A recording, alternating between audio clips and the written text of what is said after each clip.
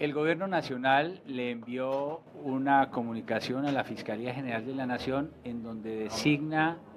a los voceros negociadores del Ejército de Liberación Nacional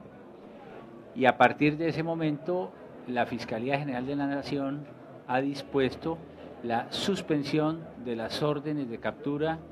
de estos voceros para que se inicie el diálogo con el Ejército de Liberación Nacional.